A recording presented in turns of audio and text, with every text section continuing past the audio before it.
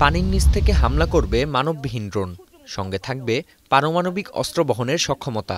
এমনই এক ড্রোনের পরীক্ষা করে বিশ্বজুড়ে হইচই ফেলে দিয়েছে উত্তর কোরিয়া। তেজস্ক্রিয় সুনামি ছড়িয়ে ড্রোনটি শত্রুর নৌযান ও বন্দর ধ্বংস করতে পারে বলে দাবি করছে উত্তর কোরিয়ার রাষ্ট্রীয় সংবাদ মাধ্যম কেসিএনএ।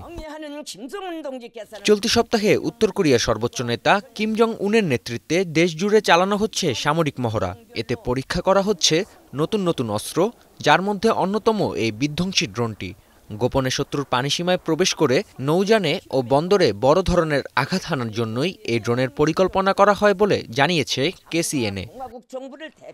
উৎক্ষেপণের আগে দেশটির দক্ষিণ হ্যামগিয়ং প্রদেশে সমুদ্রের প্রায় চারশো নব্বই ফিট নিচে ষাট ঘণ্টা যাবৎ রাখা হয়েছিল ড্রোনটিকে। উত্তর কোরিয়ার পরমাণু বহনে সক্ষম ড্রোনটির খবর এমন সময়ে এলো যখন বৃহত্তম সামরিক মহড়ার আয়োজন করছে প্রতিবেশী দক্ষিণ কোরিয়া ও যুক্তরাষ্ট্র।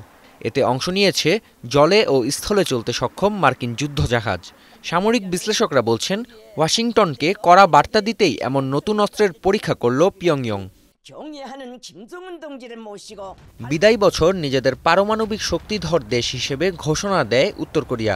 এরপর থেকেই অনেকটা আগ্রাসী হয়েছে দেশটি। চলতি মাসেই সামরিক বাহিনীকে একটি প্রকৃত যুদ্ধের প্রস্তুতির জন্য মহড়া জোরদারের নির্দেশ দেন দেশটির সর্বোচ্চ নেতা কিম জং উন চলতি সপ্তাহে পিয়ংইয়ংয়ের সবচেয়ে শক্তিশালী আন্তঃমহাদেশীয় ব্যালিস্টিক ক্ষেপণাস্ত্র হোয়াসং সেভেন্টিন এর চালানো হয়েছে পরীক্ষা।